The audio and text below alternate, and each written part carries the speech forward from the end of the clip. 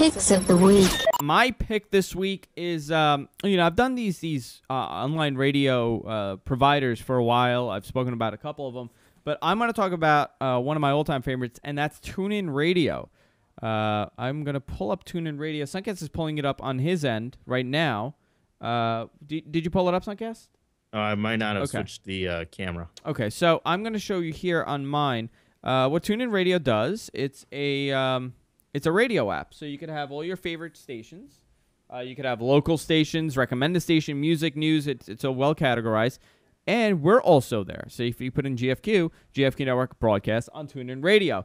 The reason why I really like TuneIn Radio and it and it separates itself from the other ones is the fact that you could record programming. So uh, you if you know you're going to be around, but you can't really listen to the show, you could hit record and actually record whatever program you're looking to uh, do.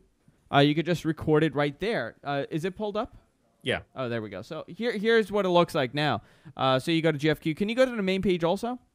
Yes. So that's our page there. It gives you our listing. It also provides you podcasts. So if uh, if a radio network like us has a bunch of podcasts, you could it, it condenses everything to one location. So that's the main page. You can see local radio, you can see music, and you could it pretty much is, has everything you want from podcasts to uh, local radio stations in your area.